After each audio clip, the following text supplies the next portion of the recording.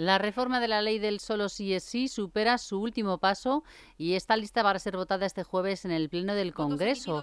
De ahí será enviada al Senado. Este martes la Comisión de Justicia ha aprobado el dictamen de la reforma de la ley contra la violencia sexual presentada por el Partido Socialista, que cuenta con el apoyo del Partido Popular. Los dos partidos han pactado unas modificaciones. La Ley de Garantía Integral de la Libertad Sexual es una muy buena ley que supone un cambio de paradigma fiel al propuesto por el movimiento feminista y del que el PSOE no se ha movido ni una sola coma.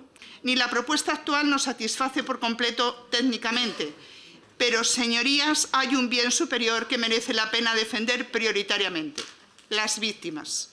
En contra, los socios de gobierno Unidas Podemos que dicen esperar aún un acuerdo con el Partido Socialista.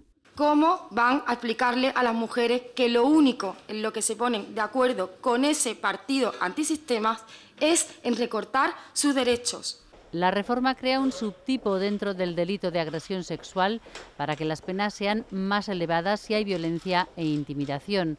Los apoyos habituales del Gobierno creen que se desplaza así la importancia del consentimiento. PSOE y PP han aprobado también castigar la distribución de contenidos que puedan incitar a menores a cometer agresiones sexuales.